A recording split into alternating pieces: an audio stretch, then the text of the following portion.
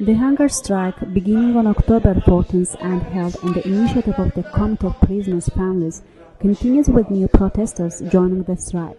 Today, more people joined the hunger strike, which was initiated by Popular Front Party member and father of Elnur Majidli, Arzuman Majidli, and by Musavat Party member and Hajibayli's father, Ibrahim Hajibayli.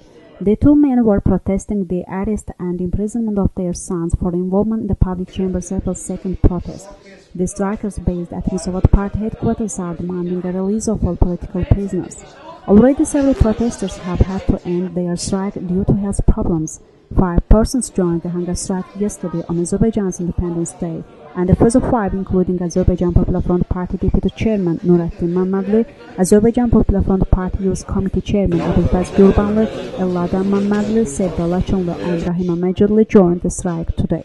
So far, Elnur Majidli's father and chairman of the Committee of Prisoners' Families Arzuman Majidli, Rufat Hajibayli's father Ibrahim Hajibayli, Azerbaijan Popular Front Party activist Dayanat Babayev, Musavat Party member Novruz Orujov, the chairwoman of Public Chambers Women's Council Güzel Bayramlı, and deputy chairwoman of Azerbaijan Popular Front Party Supreme Parliament Irada Aliyeva have joined hunger strike. Participants of the hunger strike demanded the release of activists arrested for involvement in the public chamber's April 2nd protest, as well as youth activists Ruslan Bashirli, Jabbar Savalanlı, Bakhtiyar Hajiyev, human rights defender Vidadi Iskandarlı, and other political prisoners.